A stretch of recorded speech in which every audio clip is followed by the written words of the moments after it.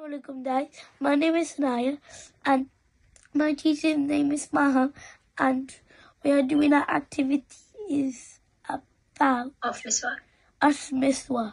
A toothbrush. Okay? Oh yeah. Like we use toothbrush, just like that, we, we use don't like it. it's I don't it's put a, that- it's a healthy toothbrush, okay?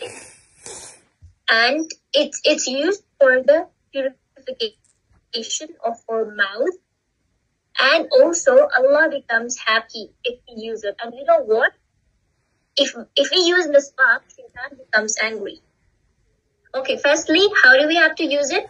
We have to uh, dip one end of miswak in water so that it becomes soft, and then we have to brush it like we, we use a toothbrush. Okay?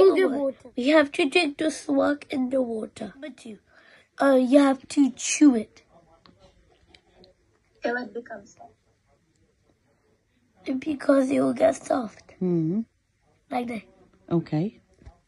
Number three, we have to brush it like this.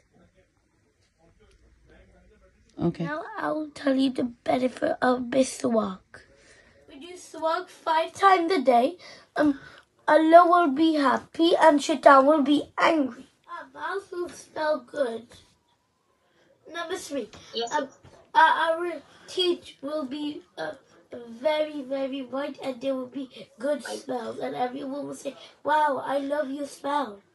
For lo- watching Allah laughing. And please like and subscribe to Academy of Light. Allah Hafiz.